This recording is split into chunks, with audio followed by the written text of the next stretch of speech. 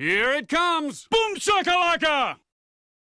É, minha gente, tive que interromper as minhas férias aqui no Boom Shakalaka, as férias que eu anunciei no meu último vídeo. Eu falei que ia ficar algumas semanas sem lançar vídeos por aqui, mas eu tive que interromper as minhas férias porque tivemos uma mudança drástica nesse time aqui, no meu time que aconteceu ontem. Daryl Morey, general manager do time e um dos grandes responsáveis pelo sucesso recente na última década do Houston Rockets, pediu para sair. Não será mais o general manager do Rockets a partir da próxima temporada. Ele, o, pelo que foi noticiado, ele e o Tillman Fertitta, que é o, o, atual dono do Houston Rockets, chegaram num acordo, né? Ele, ele não foi uma demissão dele, né? Ele quis sair. Eh, pelo que eu vi também numa, numa outra reportagem, as filhas dele, ele tem duas filhas adolescentes, elas vão ficar, acho que um ano fora dos estudos por causa da pandemia e assim ele poderia curtir é, a família um pouco mais nesse ano e pensar no, nos próximos projetos para a vida dele, sendo na NBA ou não. Enfim, é, vamos a um resumo da era Daryl Morey no, no, no Houston Rockets. Para quem não conhece ele, ele é um, um, general manager famoso por toda a parte de analytics, né, de estatísticas, de matemática. Um cara que claramente escreve uma equação para montar um, um time e otimiza, otimiza as variáveis dessa equação para tentar, enfim, chegar a um número de vitórias maior ao final de tudo isso.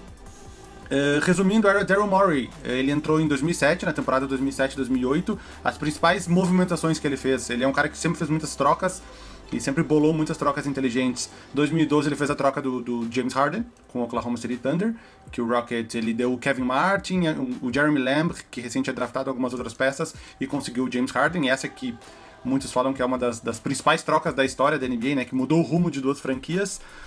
Na temporada seguinte ele conseguiu o Dwight Howard, no, no, que era free agent, né? Pegou dos Lakers.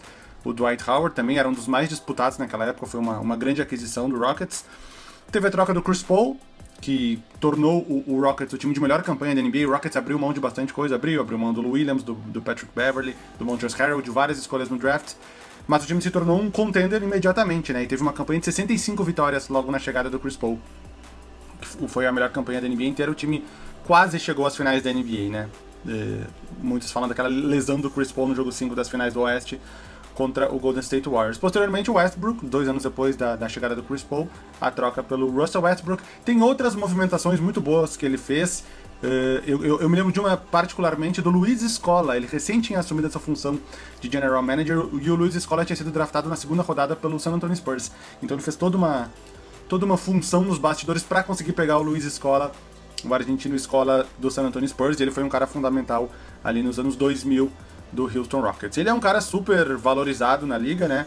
Eu acredito que muitos times de mercado menor eh, que não conseguem desembarcar esses grandes jogadores, sei lá, Cleveland, Minnesota, Orlando, não sei, New Orleans, times dariam tudo, pagariam tudo para ter ele nesse momento. Eu queria botar uma imagem que eu peguei da, da ESPN americana, essa imagem aqui, ó, o Rockets uh, sob Daryl Morey desde 2007 e 2008.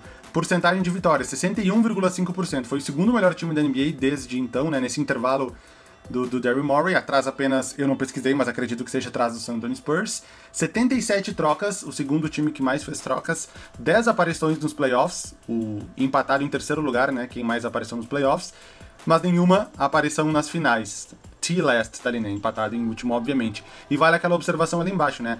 Uh, foi para os playoffs nas últimas oito temporadas, a maior sequência atual na NBA, né? O time que vem na maior sequência de playoffs é o Houston Rockets.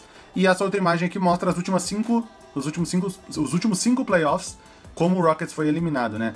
2016 na primeira rodada para os Warriors, 17 nas semifinais do Oeste para os Spurs, depois duas eliminações para Warriors, uma nas finais e uma na semi do Oeste, e esse ano para os Lakers. Se voltasse um ano a mais, 2014 e 2015, também foi nas finais do Oeste para o Golden State Warriors. Bom, antes de falar do futuro do Rockets, das opções que o Rockets tem, eu queria comentar algumas coisas. Primeiro, que eu tenho um carinho muito grande por ele.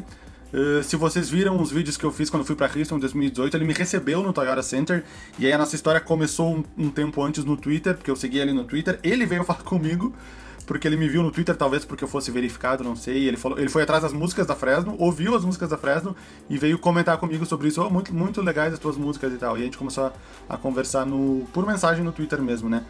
E aí quando eu fui para Houston em 2018, eu mandei uma mensagem para ele. A gente acabou se encontrando antes do jogo, do terceiro jogo que eu vi lá, que era contra o Kings que era em fevereiro. E ele ia dar uma palestra antes do jogo num, num, auditório dentro do Toyota Center. E aí eu acabei assistindo essa palestra, era uma palestra para os estudantes do MIT, o Massachusetts Institute of Technology, que é onde ele se formou. Então ele deu uma palestra para os estudantes do, do, do MIT. E o curioso, eu vou, eu vou deixar o link aqui em cima para a terceira parte dessa minha viagem para Houston, que é quando isso acontece. O curioso é que isso quase não aconteceu, porque eu mandei mensagens para ele ao longo de, sei lá, uma, duas semanas e ele não respondeu no Twitter. E posteriormente ele me falou que quando tá perto da trade deadline, ele não entra em nenhuma rede social, né? Aquele momento que dá para os times fazerem as trocas trade deadline. E ele não entra em redes sociais. Foi quando acabou a trade deadline que ele entrou no Twitter e viu a minha mensagem. Foi tipo um dia antes, dois dias antes. Senão não teria dado para isso acontecer. E essa foi a foto que eu tirei com ele, ó. É, depois, da, depois dessa palestra, eu conversei com ele, sei lá, por uns 5 minutos, talvez um pouco mais. E a gente conversou sobre. Conversamos até sobre, até sobre o basquete brasileiro. Que o, o Rockets recém tinha, tinha testado o Jorginho de Paula na pré-temporada, que é brasileiro. Tem o Nenê, que já jogou no Rockets. Tem o Scott Machado, que já jogou no Rockets. E, quem mais? O Rockets é um time que já, já deu oportunidade para vários brasileiros. E eu tenho esse carinho especial por ele. Hum, enfim, e eu queria falar do Tillman Fertitta, para quem não sabe, é o dono do Houston Rockets desde 2017. Ele comprou o, o, o Rockets por 2 bilhões, 2, 2 bilhões e alguma coisa. É, se alguma coisa resolvia 10 gerações da minha família. Acho que foi 2.1 ou 2.2 bilhões. O dono antigo era o Les Alexander, que comprou o time na temporada que o Rockets foi campeão, 93-94. É, então ele foi campeão no primeiro ano e no segundo, depois que ele comprou a franquia. E o Fertira quase foi campeão no primeiro ano, né? Foi essa temporada da lesão do Chris Paul. Muitas pessoas criticam ele como dono, primeiro por ele evitar pagar a Luxury Tax, né, que é aquela taxa extra acima do quando o time excede o teto salarial. Muito por isso, depois dessa temporada, o Rockets acabou perdendo o Trevor Ariza, porque não tinha o, Ariza e o Mbamuta, né, que eram os dois alas do time, porque para evitar pagar essa luxury tax, o time tentou o James Ennis, não deu certo, depois tentou o Carmelo Anthony, não deu certo também.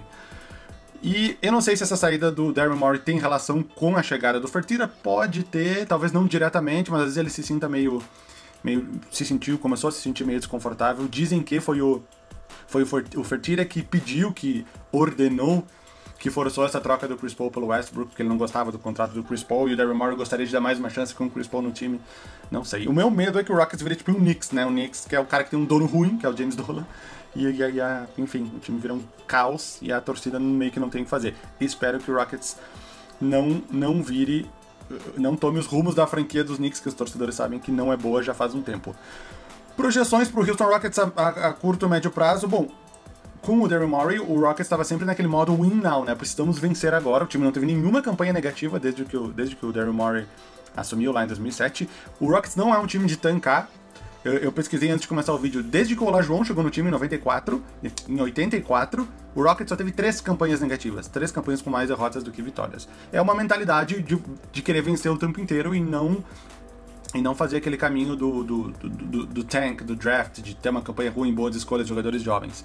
E agora, continua essa mentalidade, o novo general manager se, se chama Rafael Stone. Confesso desconhecer ele, não sei qual é a mentalidade dele, mas é um cara que já tá na franquia, já tá, já tá lá dentro da, da engrenagem. Eu acredito que vai continuar com essa mentalidade. Porque agora, para finalizar o vídeo, eu queria falar das opções do, do Houston Rockets. Quais são, quais são as opções do Rockets a partir de agora? Uh, independente da saída do Daryl Morey ou não, seriam essas mesmas opções. A primeira é segue o time, tenta mais uma vez. Tem James Harden, tem Russell Westbrook, tem Robert Covington, PJ Tucker, todos esses jogadores estão sob contrato, Aaron Gordon. A base é a mesma, não tem muito espaço para tentar no teste salarial para pegar algum outro jogador. E enfim, Harden tá no prime, né? Tá no, tá no melhor momento da carreira dele, tá no auge da carreira, não dá para desperdiçar isso. Russell Westbrook, de certa forma, também. Enfim, essa é a opção número 1. Um. Segue o time. Vai ser campeão? Possivelmente não. Principalmente com a Conferência Oeste estando cada vez mais forte. Lakers com um time muito forte. Warriors vai voltar com tudo agora, com Stephen Curry, Clay Thompson, Draymond Green, todo mundo recuperado. Tem o Andrew Wiggins que chegou, vai ter a segunda escolha no draft, vai ser um time muito forte. O Clippers segue tendo Kawhi Leonard, Paul George, uh, Lou Williams e todo mundo. Então, o Denver Nuggets crescendo cada vez mais, Utah Jazz crescendo, a Conferência Oeste está muito difícil. Então, com esse time e com o que o Rockets pode acrescentar, eu acho pouco provável que o time uh, seja um, um contender para valer, assim, que tenha realmente chances de ser campeão. Opção número 2, troca o Russell Westbrook, vê o que consegue por ele, eh, mas para tentar vencer, né? Então, tu, eu, eu, vi um boato de uma troca que envolveria Rockets, pro Rockets pegar o Joel Embiid, acredito ser só boato. O Rockets pegaria o Joel Embiid, seria uma troca entre três times, teria que ser, né? Porque simplesmente Embiid pelo, pelo Westbrook não seria uma troca que o Sixers aceitaria, acredito. Mas era uma troca que envolvia o, o, o Sacramento Kings, o Buddy Hield também iria para os Sixers, o Rockets pegaria o Embiid e o, e o Mike Scott para bater os salários, daria o, o Russell Westbrook, enfim. Era uma, era uma troca entre três times que funcionaria. Eu, eu olhei pelo lado dos três times parecia ser boa. Mas enfim, não é, acho, não é algo que eu acho que vai acontecer. Mas, enfim, é a segunda opção. Manter o Harden, trocar o Westbrook e tentar mais uma vez um time em torno do Harden. E a terceira opção é o rebuild total, né? É o rebuild total. Aí incluiria troca Westbrook, troca Harden, pega todas as, as, as os picks possíveis, que o Rockets meio que não tem quase mais nada nos próximos anos. Acumula um monte de picks que com certeza conseguiria com o Harden e com o Westbrook. Conseguiria jogadores jovens bons, eh, principalmente com o valor de mercado que o Harden teria hoje no, no auge da carreira, fazendo 35 pontos por jogo. O Rockets, o Rockets conseguiria jogadores jovens bons, Uh, várias picks para os próximos anos e entraria em modo rebuild total, que eu nunca vi no Rockets. Desde que eu nasci, o Rockets nunca fez um, um rebuild total. Mesmo depois ali da era uh, Yao Ming, Tracy McGrady, foi um, foi um mini rebuild, foi um rebuild ali ficando em nono, sabe? Com alguns jogadores experientes, enfim. Essas são as três opções pro Rockets. Ou segue o time, ou troca o Westbrook, ou começa do zero. E aí, se eu, se eu já estava preocupado com o futuro do time, como o Daryl Morey, imaginem agora sem o Daryl Morey. Para finalizar mesmo o vídeo, duas coisas que eu queria falar. Primeiro que eu vi um boato do Daryl Morey no Houston Texans. Houston Texans é o time de futebol americano da cidade de Houston, que está sempre ali na, na média, nunca consegue despontar como um dos grandes.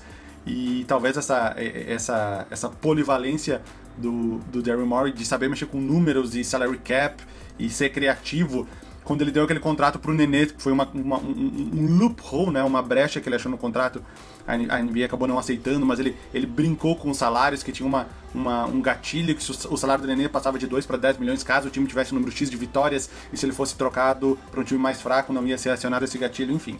A NBA não aceitou essa criatividade dele, mas ele sempre foi um cara muito criativo e isso poderia ser útil na NFL, mas eu acho que são só boatos. E, por fim, eu acho, eu não falei desse vídeo aqui, mas eu acho que isso não tem nada a ver com a parada da China do, do ano passado. Foi exatamente um ano atrás, em outubro do ano passado, que ele deu aquele tweet uh, apoiando os, os protestantes em, em, em, Não os protestantes de religião, as pessoas que estavam fazendo protestos em Hong Kong contra o governo chinês. Ele apoiou e isso gerou um, um embate entre a NBA e a China. A China uh, cancelou os jogos de pré-temporada lá, tirou os cartazes dos jogadores da NBA, só foi voltar a passar jogos da NBA nas finais agora. E eu acho que não tem nada a ver com isso, porque se naquele momento ele continuou, ele recebeu o, o, o, aval do Adam Silver, né, que é o comissário da NBA, e do próprio dono do Rockets, que ele é um ser humano livre para se expressar como ele quiser. Eu acho que não tem nada a ver com isso, embora a NBA tenha perdido, o dono do Rockets e a NBA perderam muito dinheiro com isso, mas eu acho que não tem nada a ver.